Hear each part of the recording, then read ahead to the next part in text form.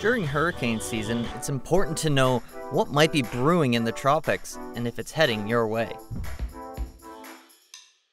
Meteorologists use two important plots to show where a tropical storm might be heading, the spaghetti plot and the forecast cone.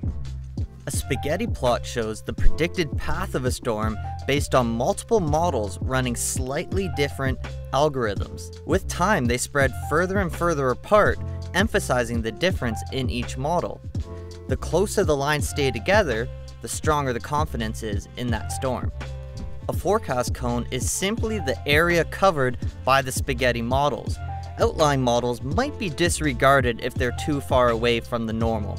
The cone shows the direction, uncertainty, timing, and strength of the storm. So maybe treat yourself to a plate of spaghetti or an ice cream cone and tune into the Weather Network to see how the storm pans out.